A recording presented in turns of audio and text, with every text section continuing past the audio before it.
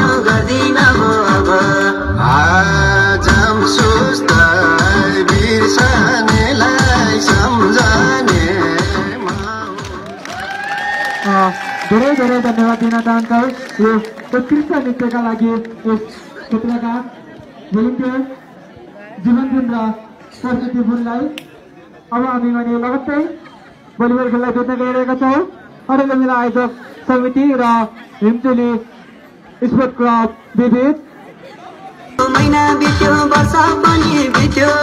महिना बित्यो महिना बित्यो वर्ष पनि बित्यो। बिर्सिएर गए पनि तिम्रै